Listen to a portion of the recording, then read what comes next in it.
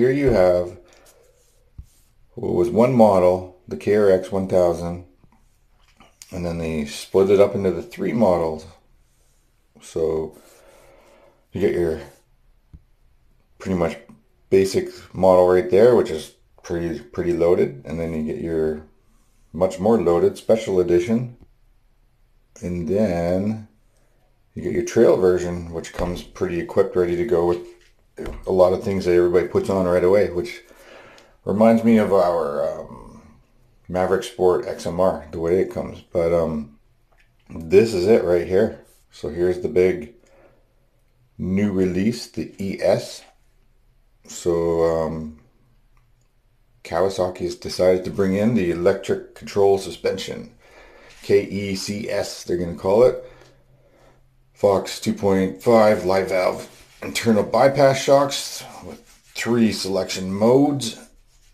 And uh, yeah, so that's the big thing they added to this. So it's um, like a fourth model with a little bit of that and a little bit of this and a whole new suspension package. So that being said, with the spring sagging problem and all that kind of stuff going on. Will that have changed in this unit as well? Will they have better springs? That we'll find out. That's still pretty cool. Um, that it has a live valve, would be really cool if it came with better springs so they hold up a little better and uh, not sag in the early going for, for everybody purchasing these units.